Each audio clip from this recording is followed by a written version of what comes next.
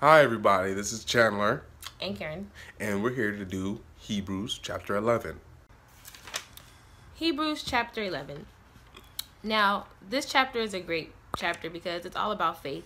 And us as believers, we need faith in our everyday life. We need faith when we're praying. We need faith when we wake up in the morning and just believe in God that He will be with us and protect us every single day. We need faith just for about everything. It even says in the Bible that we need faith to please God. And I just want to read the first verse to you guys because it is just a definition of faith itself, in case any of us are wondering. Now, faith is the substance of things hoped for, the evidence of things not seen. This verse is a very famous verse, and this is the backbone of this entire chapter. Now, I also want to read this verse to you all. By faith, we understand that the worlds were framed by the word of God, so that the things which are seen were not made of things which are visible. Now, this is also um, a, a very important verse because it talks about basically how the world was even created, and there's many different doctrines and ideologies and theories. We have evolution, the Big Bang Theory, but us as believers, we have faith and we believe that God created the earth. And even though we didn't see Him do it, we know by faith that He did do it. Now, also in this chapter, a couple verses down, it talks about Noah. And Noah is a man who had extreme faith because he built the ark. He built an ark and he had to have strong faith to believe that it was actually going to rain, that the world was going to be destroyed. How many of us will really do that today? Build an ark or just some something God has really asked us to asked us to do something that we may be uncomfortable with. Maybe sometime God even asks us to go speak to someone. We have to have faith to go talk to them, to prophesy to them. But some of us, maybe I'm talking about myself, I don't want to talk about anybody else. Sometimes it's hard to do those things, and you have to have faith for that. Now, also, a man of strong faith was Abraham. He was the father of many nations, but he didn't get to see all these nations because he died. But he had faith and he believed that God would get it popping between him and Sarah, even though they were old. They were old, and that takes a lot of faith to think that I'm almost dead and I'm going to have hundreds of children. But he did because we're here today. Now, let's talk about the heavenly hope. Now, in verse 13, it says, These all died in faith, not having received the promises, but having seen them afar off, assured of them, embraced them, and confessed that they were strangers and pilgrims of the earth. I love the last part where it says about how they were strangers and pilgrims of the earth. They confessed it, they believed it, because they knew that this temporary state, this temporary world they're in, is not permanent. They knew that they had something better to look forward to, and they were seeking a homeland, somewhere better, a heavenly hope. It also says that, but now they desire a heavenly country.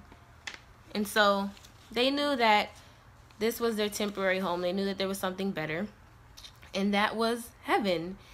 And to have a faith that way, knowing that this terrible earth that I'm on right now is not my permanent home, that's some there's something better up in the heavens for me. It's it is very touching to me. It's very touching. Now,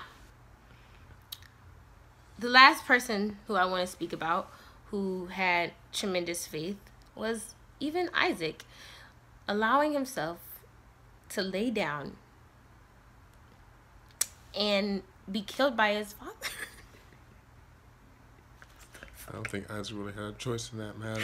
Well, he didn't lay down to be killed by his father. Let's not say that. But Abraham had the great faith. Abraham had the faith to kill his son, but his son, he had to lay down. He could have fought his dad. He could be like, no. He could have pulled a knife on him, but he was humble and he laid down. He was humble and he laid down and allowed his father to possibly kill him and that took faith in knowing that god would bless him but we all know in the end that he did not have to die and that pretty much sums up the first 20 verses of this chapter and i'm gonna pass it on to chandler who also has a lot of insight and has been a great partner That was an excellent summary, Karen. thank you channy Um, um, verses 23 to 20, through 29 are all about Moses. We all know the story of Moses. Um, I'm not going to go too in depth on that, but it is important to state that it was his faith that sustained him through all the trials and tribulations that he suffered through in Egypt. Um, the author stops about when he actually actually led the exodus through um, from Egypt through the uh, Red Sea, and that it was his faith in God that allowed he and his feather fellow Jews to escape the Egyptians, who you know, of course, drowned in the Red Sea. Um, verses 30 through 35 discuss other instances in which faith was a catalyst for many different miracles. The, the walls of jericho falling down the spies being you know getting into the city um, of um, you know that one city. I never actually read that story but um, i've heard about it. Um, after verse 35 verses 36 through 38 his tone changes a little bit. He stops talking so much about the victories that were achieved through faith and more about some of the the the sufferings and things that were endured because of it. So he talks about people being tortured, imprisoned, tempted, sawn in half, slain by the sword, and in all these situations, he states that it was, you know, their faith that kept them and sustained them. Not for victory like some of the other situations. It didn't always lead to victory. You know, death, it doesn't seem so much as a victory to me. But he does state that um, in verse 39, I'll read it to you. It says, And all these, having obtained a good testimony through faith, did not receive the promise.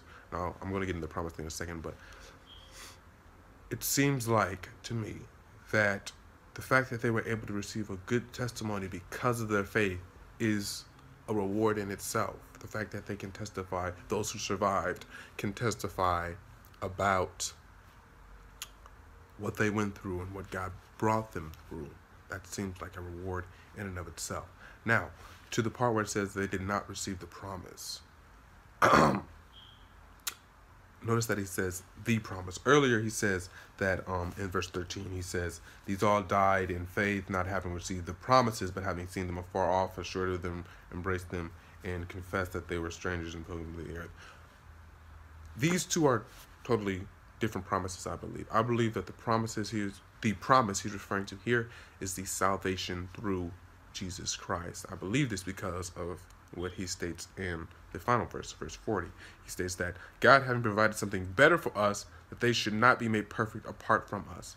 So I believe the promise he's referring to was that th- was them being made perfect. And of course, we are all born sinners, and without the cleansing blood of Jesus Christ, it is impossible for us to be perfect. So this has led me to believe that the promise he's talking about is the re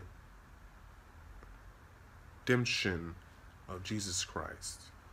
I mean, not the redemption, redemption of us through Jesus Christ. That is the promise he is referring to. Cut.